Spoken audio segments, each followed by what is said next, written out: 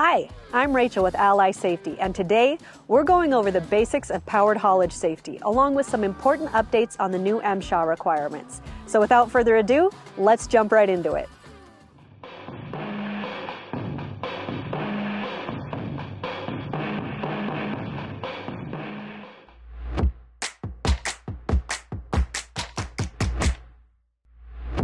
If you like our YouTube videos, make sure to check out our video subscription.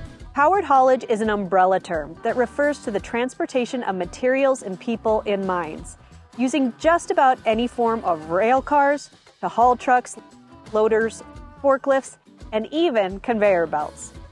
It's basically powered equipment hauling people and materials. Accidents involving powered haulage are a major concern in the mining industry, causing 50% of all mining deaths in recent years. Most of these accidents are completely preventable. The thing is, there are blind spots and obstructions that can lead to unexpected accidents. For example, in the cab of this haul truck, you can see far ahead, but can you see what's directly in front of you, to the side, or behind? Haul trucks are so big in comparison to ordinary vehicles, some can drive over trucks, vans, or small buildings without ever realizing it. As you can see, there are huge areas of blind spots, and this example is on the surface with full visibility. There isn't dust, severe weather, or crowding. Things can get even more complicated easily. You can see how that could lead to accidents. Because accidents and fatalities continue with powered haulage equipment, MSHA has updated their rules. These new rules apply to all mine operators and independent contractors that use surface mobile equipment both at surface mines and the surface areas of underground mines. It applies to mobile equipment but does not include conveyor belts. First up, pre operation inspections. Before you start using any haulage equipment, it's essential to conduct a thorough inspection. Check the brakes, lights, steering, and other critical systems.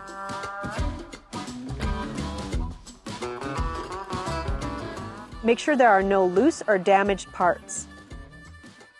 Report any issues to your supervisor before proceeding. These inspections are your first line of defense against accidents.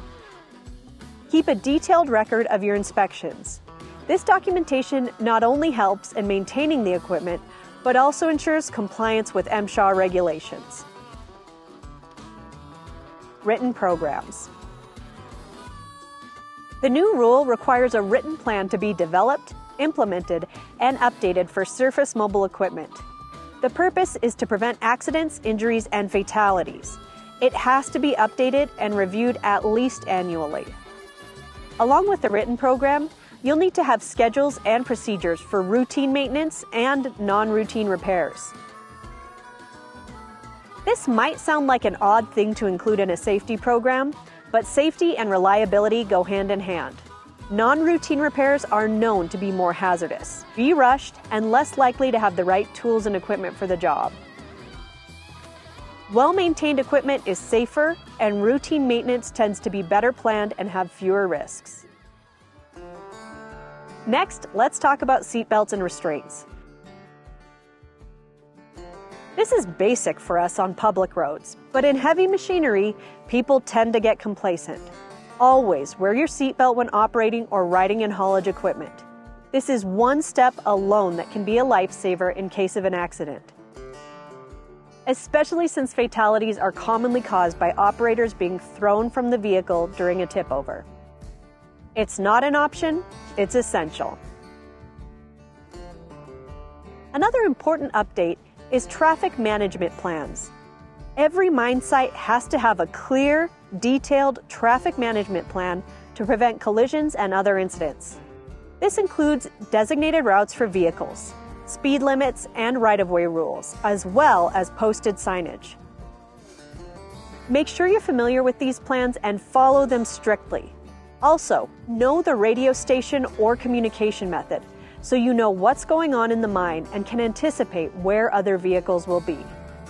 Look out for and obey all traffic signs and signals within the mine.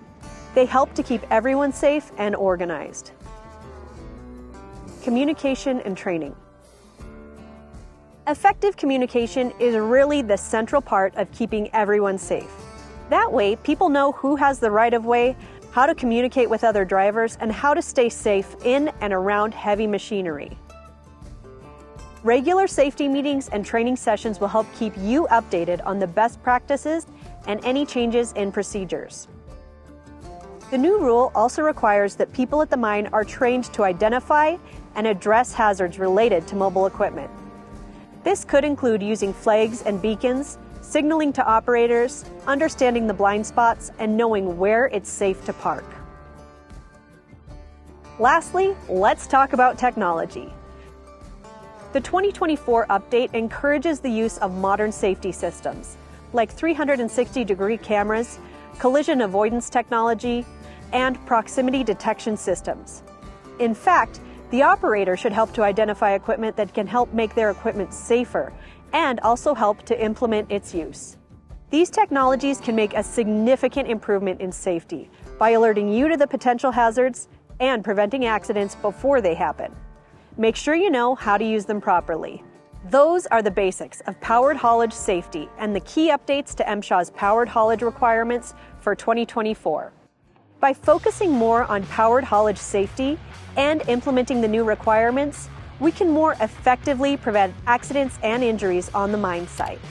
As always, take care and stay safe.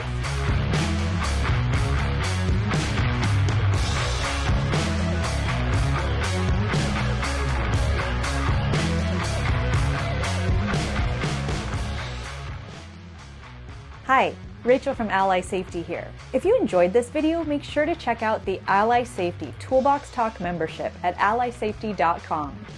There, you'll find an entire library of videos that are created to make safety entertaining. I'll see you there at allysafety.com.